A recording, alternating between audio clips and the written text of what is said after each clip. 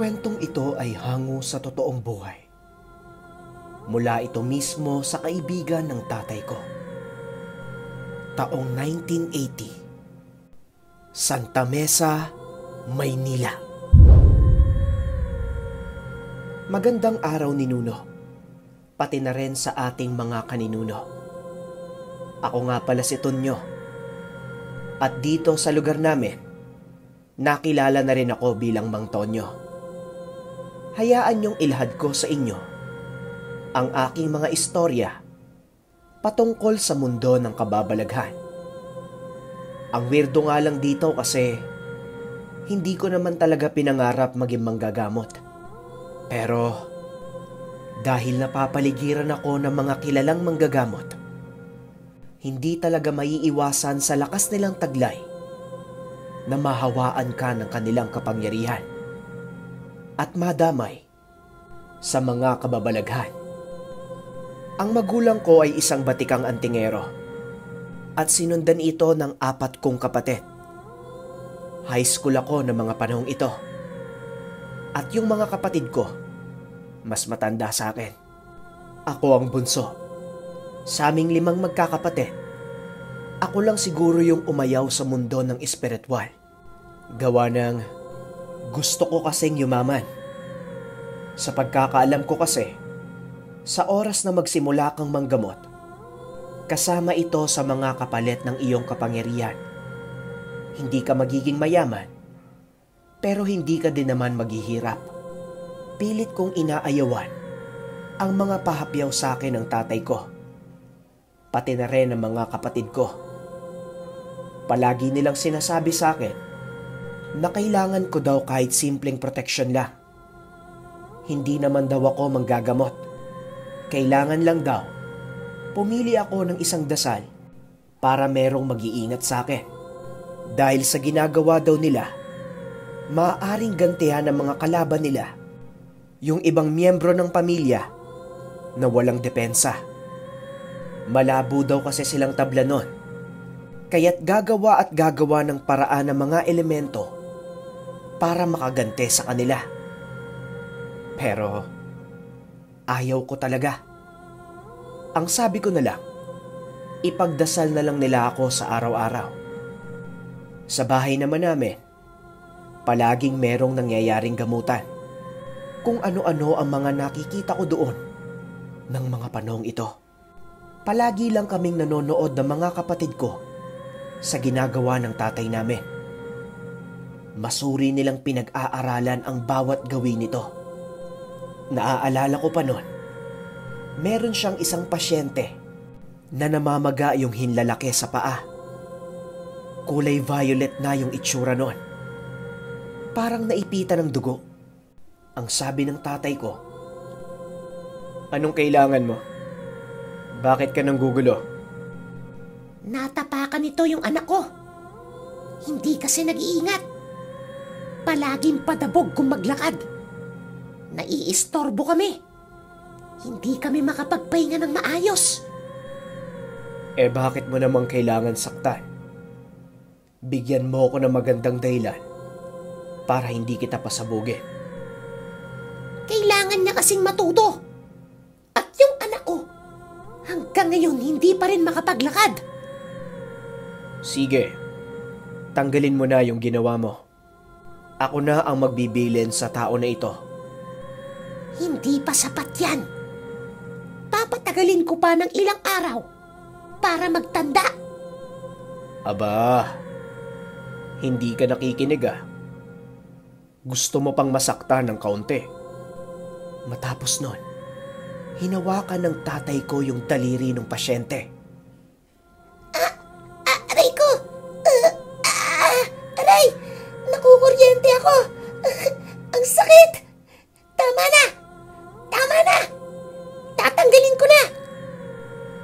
Hinahawakan ko pa lang ah. Sige, tanggalin mo na. Tapos wag ka nang babalik pa. Kung hindi, buong katawan mo na ang isusunod ko. Yung itsura ng pasyente matapos nun, para bang meron itong kinakalas na sinulit doon sa hinlalaki niya. Hanggang ilang saglit pa. Maniwala kayo sa hindi. Unti-unting nagbabago yung kulay nun. At para bang nakakadaloy na yung dugo. Bigla namang bumalik sa wisyo yung pasyente matapos nun. Kaagad itong binilina ng tatay ko sa mga nagawa niya. Pag alis naman ng pasyente, ang sabi ng tatay ko, Maganda kayo. Uulan ng malakas mamaya. Iakyat ninyo yung mga gamit sa second floor. Babahain tayo dito. Bilis. Kaagad naman naming sinunod yung sinabi niya. Ayaw kasi naming nagagalit yon. Kasi nakakatakot talaga. Pero ilang minuto lang, bumuhos na nga ang napakalakas na ulan. Nakasilip lang sa bintana yung tatay ko noon. Inuobserbahan niya yung kalangitan. Patuloy pa rin ang pagbuhos ng ulan. Kasabay nun, malalakas na kidlat. Nasa second floor naman na ang mga gamit noon. Pati kami naroon na din. Nagpapahinga. Pagsilip ko naman sa hagdanan, gulat na gulat ako kasi pumapasok na nga yung tubig at sobrang lakas pa rin ang ulan. Ang pakiramdam ko noon, aabutin pa rin kami ng baha. Yung katabi kasi ng bahay namin, ilog. At tuwing malakas ang ulan, umaapaw ito. Hanggang ilang oras pa ang lumipas. Tarantang-taranta na ako kasi yung mga kapitbahay namin na mas mataas yung bahay sa amin, kinakausap na kami Lumipat na daw muna kami sa kanila dahil panigurado aabutin daw yung bahay namin. Yung tatay ko naman, nagbabasa lang ng dyaryo. At yung nanay at mga kapatid ko, tulog na. Hindi ko alam ang isasagot ko sa kapitbahay. Pumunta uli ako doon sa may hagdan. Pinagmamasdan ko yung pag-angat ng tubig. Takot na takot ako kasi hindi pa naman ako marunong lumangoy. At huli na rin, para lumipat pa kami sa kapitbahay. Paulit-ulit kong tinitignan yung tatay ko. Pero, napakakalmado lang nito. Nakataas pa yung paa niya habang nagbabasa ng dyaryo. Papalapit na ng papalapit yung tubig sa second floor. Hanggang sa nagulat na lang ako Nasa likuran ko na yung tatay ko. Tay, yung baha, aabutin tayo. Tinitigan lang ako sa mata ng tatay ko at nagwika ng, Ayaw mo ng medalyon, ba? Gusto mong yumaman. Aanuhin mo yung kayamanan mo kapag nalunod ka na ng baha. Tignan mo tong gagawin ko. Hanggang dyan lang yung baha na yan hindi tayo aabutin. Saksing buhay ako dito mismo. Kitang-kita ng dalawang mga mata ko na itinali ng tatay ko yung medalyon niya doon sa may hagdanan namin. Maniwala kayo sa hindi. Nung tinitignan ko yung mga kapitbahay namin, inabot na yung second floor ng bahay nila. Samantalang kami, hindi na umaangat yung tubig. Dahan-dahan akong napalingon sa tatay ko. Manghang-mangha ako sa ginawa niya. Sige na, magpahinga ka na. Bukas sasamahan mo ko sa pabrika. Meron tayong kukunin doon. Huwag ka nang mag-alala. Kinabukasan naman ng araw na yon. Nagising na lang ako kasi ang ingay sa labas ng bahay namin.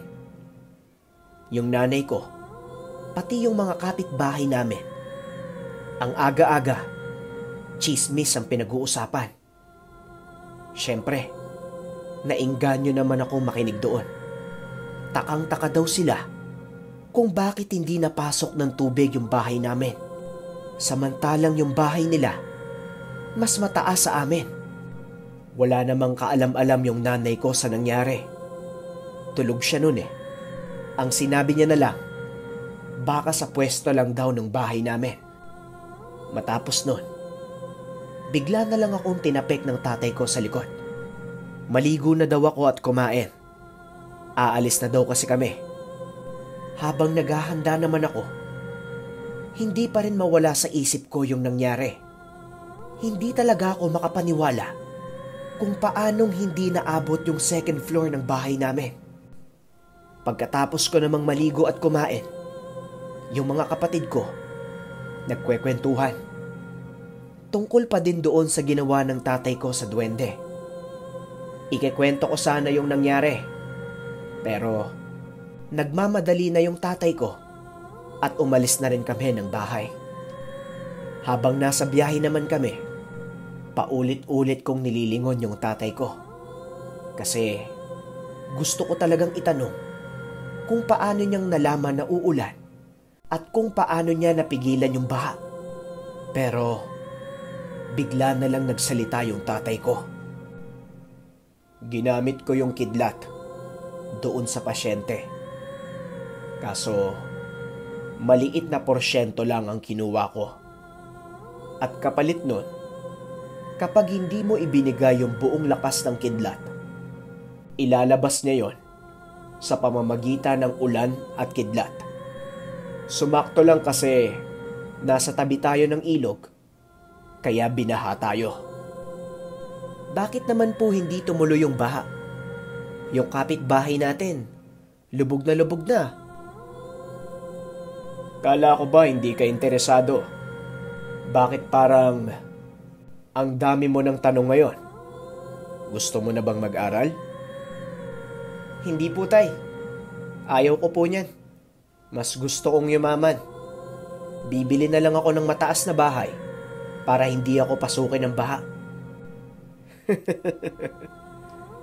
Ikaw ang bahala. Pero darating ang panahon, panigurado ko, meron kang haharapin na pagsubok at magpapabago ng isipan mo. Matapos nun, nakarating na kami sa pabrika. Gawaan pala ito ng mga salamin. Medyo nagkaroon lang kami ng kaunting problema. Kasi yung guard doon, ayaw kaming papasukin. Sir, hindi pwede.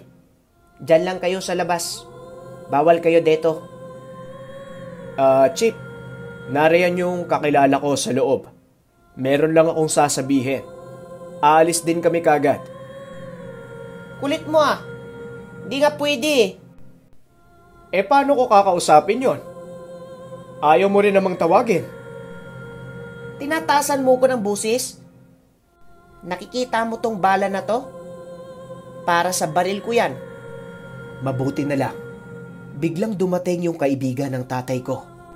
Kaagad niyang nakita yung tensyon doon sa guard.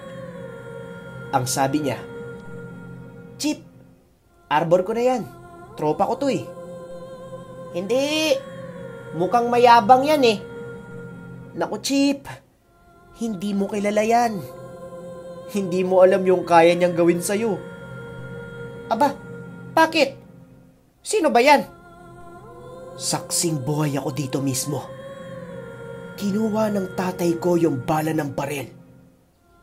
Inilagay niya ito sa lamesa at hinampas ng kanyang kamao. Pag-angat nung kamay niya, kitang-kita ng dalawang mga mata ko. Nadurog na yung bala para bang naging pulbos. Hindi nakapagsalita yung guard matapos nun. Nanlaki yung mga mata nito. Napalunok ng malalim at tumulo yung pawis.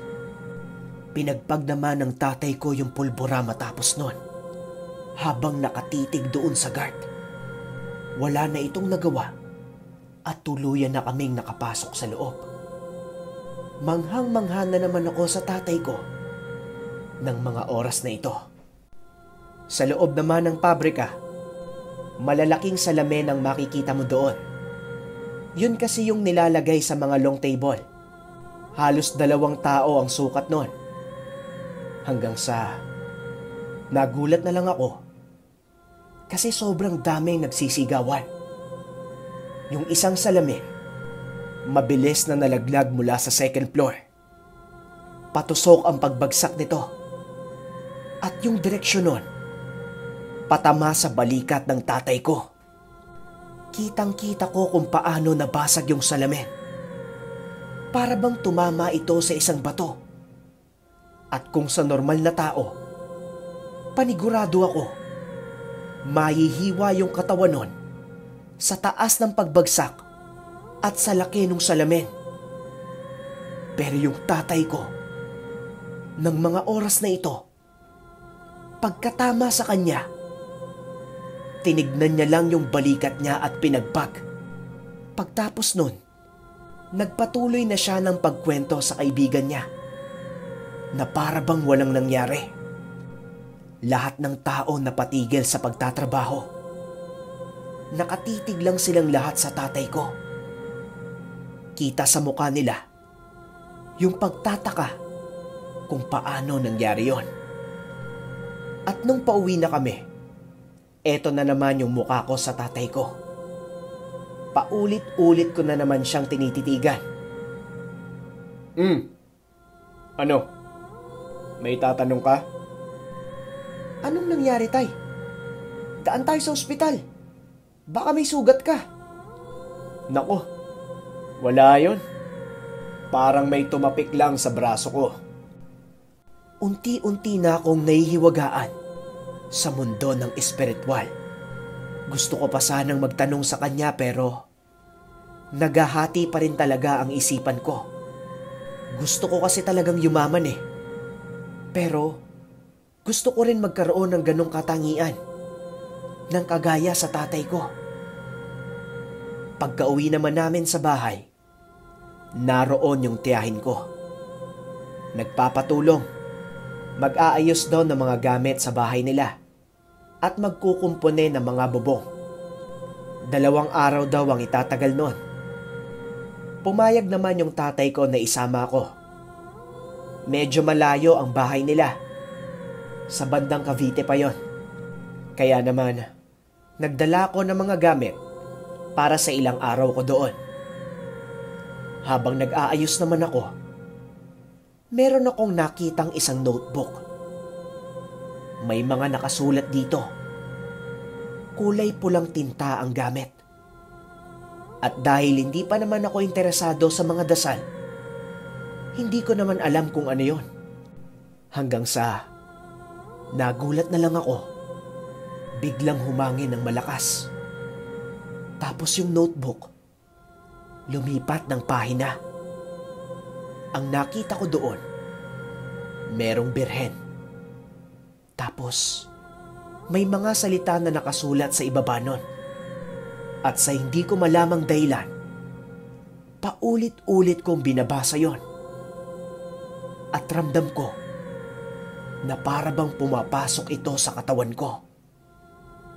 Ang init sa pakiramdam at medyo sumasakit yung ulo ko. Ang pangalan ng dasal ay Birheng Manawak.